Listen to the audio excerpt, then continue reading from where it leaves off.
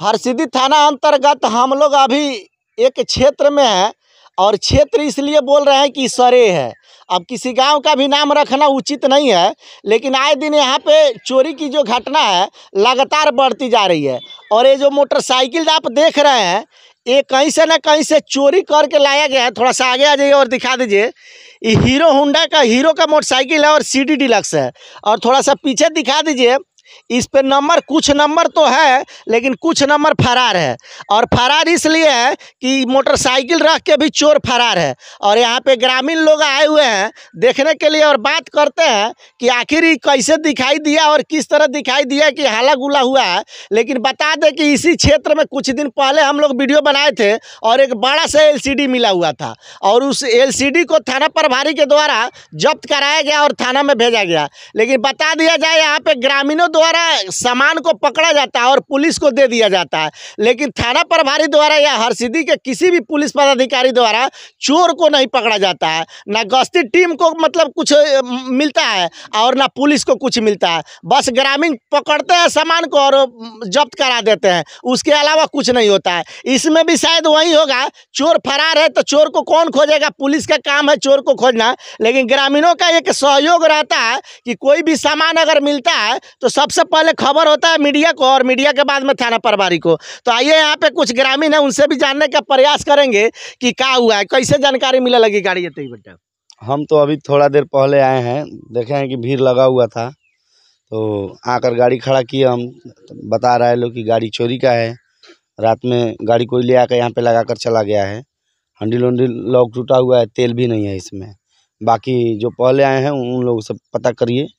क्या बता रहे हैं? आखिर चोर चोरा के गाड़ी घरे काहे ना ले गल कि एजा रख दिल अब मान लेनी रख देलक अब ओमे का कमी बेसी रहल तब रख के चल गइल बा।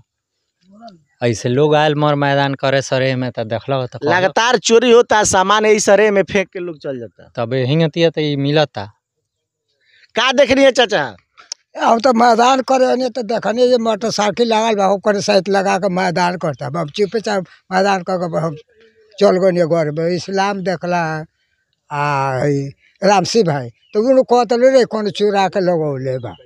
तो जाकर लोग से कहल हम तो ना कहने है। माने लोग लगौले रही तो अब ले लेके चल गए रही तो ओकर सामान रही तो। कहीं ना कहीं एक मने रखवार नहीं के। रखवार नहीं के चोरी ले गइल बा चोरौले ने बा लगा के भाग गइल बा। चोरा के भाग गइल बा। और लेक लगा के चोरौले ने ले आखिर यही एरिया में काहे रखल जाता? है अब ये एरिया में काहे ने कहा कर चोर और कहा कर ना अब लेक एरिया में लगा के भाग गइल बा। चलिए यहाँ पे गणमान्य व्यक्ति हैं इनसे भी बात करने का प्रयास करेंगे। क्या कहिएगा मोटरसाइकिल कब जानकारी मिलल है कि जानकारी ये सुबह लोग लेटरिन के लिए आए हैं तो इधर से रिटर्न जब गए तो उन लोगों ने गाँव में बताया कि हाँ वहाँ जंगल में एक मोटरसाइकिल लगा हुआ है रास्ते के किनारे। रास्ते के किनारे लगा हुआ है तो हम लोग आए यहाँ देखने के लिए। ये कोई नया बात नहीं है, इसके पहले भी बहुत सारे मोटरसाइकिल हुए हैं एलसीडी भी हुआ है। इधर लोग ले आके ये सुनसान जगह है, यहाँ पर ले आके छोड़ देते हैं। और यहाँ से खबर दिया जाता है, हरसिद्धि पुलिस को अपना आके सामान ले जाती है, जब्त कर लेती है।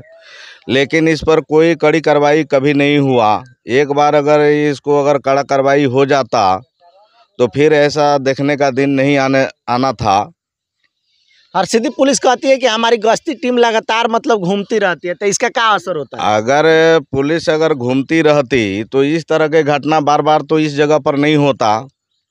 घूमती होगी जहाँ पर चोर नहीं मिलते होंगे वहाँ पर घूमती होगी जहाँ चोर मिलेगा वहाँ थोड़ी घूमेगा पुलिस। सामान मिल जाता है और चोर नहीं मिलता है? हाँ तो सामान मिलता है वो ग्रामीण के सहारे से मिलता है पुलिस के सहारे से मिलता थोड़ी है। ये तो ग्रामीण अपना बल से सहारा से वो तो ये पुलिस काम पुलिस का है कि ग्रामीण का है? वो तो पुलिस का काम है ये तो ग्रामीण का है नहीं। लेकिन यहाँ के ग्रामीण अपना जो है जोखिम लेके पुलिस को किसी तरह सामान दे देती है।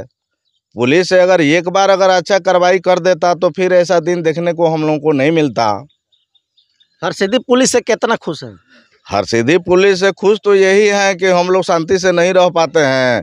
गेट में ताला मार के भी रात में जगना पड़ रहा है। पिछले कुछ दिन पहले एक गाँव में बोलोरो चोरी हो गया, दरवाजे पर खड़ी बोलोरो, आज तक चोर का पता नहीं लगा। चोर का पता कैसे लगेगा? पुलिस लगाएगा तब ना लगेगा। अब जिसका चोरी हुआ है, वो जाएगा, चोर को खोज के लाएगा, या आपके पुलिस को देगा, तब ना पता चलेगा। पुलिस तो कोई कार्रवाई करती नहीं है। कुल मिलाकर अगर बता दिया जाए तो आपकी गाड़ी अगर चोरी हो जाती है, आप पुलिस प्रशासन को खबर देते हैं तो पुलिस प्रशासन आएगी और इस गड़िया को लेकर चली जाएगी। और चले जाने के बाद जाँच पड़ताल होगा और उसी जगह पर ही खड़ा कर दिया जाएगा। आखिर जिनका भी गाड़ी अगर वीडियो आप देख रहे हैं, अगर रेड कलर का गाड़ी है सी डिलक्स है तो आप हरसिद्धि थाना में संपर्क कर सकते हैं। काहे कि इसके बाद ये गाड़ी अब हरसिद्धि थाना में ही जाएगा। चोर का पता लगाना तो बड़ी मुश्किल है।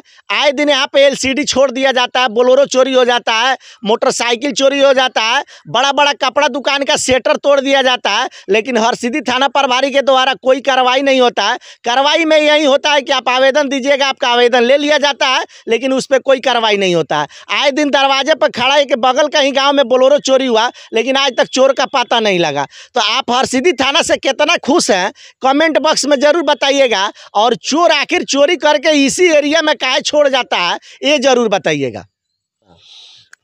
अभी जब सुबह में लेटिंग करने आए तो पता चला कि गाड़ी यहाँ पे है किसी व्यक्ति का। कुछ दिन पहले एलसीडीओ यही एरिया में फेंक रहा है।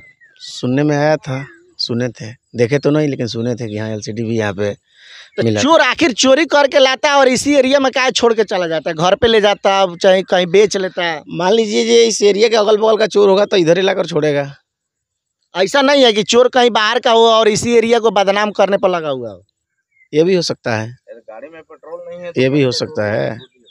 अगर कहीं दूसरे जगह चोर चोरी किया है, लेकर जा रहा है, गाड़ी का पेट्रोल खत्म हो गया, हो सकता है यहाँ पे लगा कर चला गया हो। अभी पोल खुलता है, इसी चोरी से पोल खुलता है और चोरी जिस एरिया में घटना बढ़ जाता है, वहाँ के थाना प्रभारी को लगभग लगभग चैलेंज चोर करते हैं कि हम कुछ करेंगे, कहीं से चोरा लाएँगे, लेकिन आप हमें नहीं पकड़ सकते हैं। तो हरसिद्धि थाना के बारे में क्या सोचते हैं और इस मोटरसाइकिल के बारे में क्या सोचते हैं, कमेंट बॉक्स में आप ज़रूर बताइएगा।